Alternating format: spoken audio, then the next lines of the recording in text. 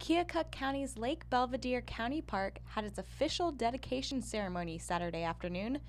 The project was 35 years in the making and it was completed back in 2001.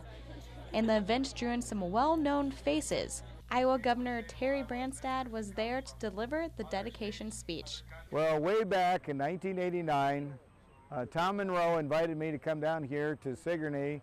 They wanted, they had a vision of building this Lake Belva Deer project.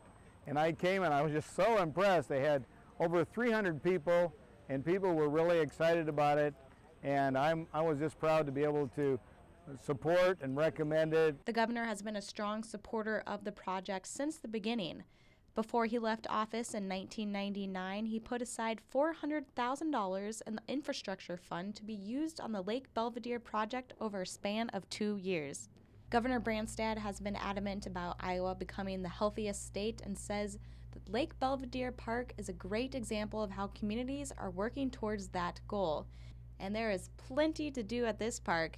Well, the lake is 260 acres, and since the lake has been built, we have a 6.3 mile walking trail around the lake. We have eight miles of horse camp, uh, eight, eight, miles of horse trails. Uh, we have 56 uh, modern electric site campsites. We have five modern rental cabins, uh, about 10 shelter houses, a swim beach, so there's plenty of outdoor activity for people.